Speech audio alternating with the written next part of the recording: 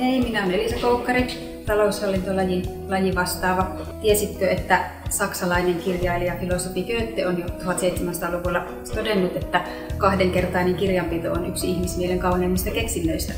Tämä kahdenkertainen kirjanpito näyttelee suurta roolia, jos ei jopa pääroolia tässä taloushallinnon lajissa.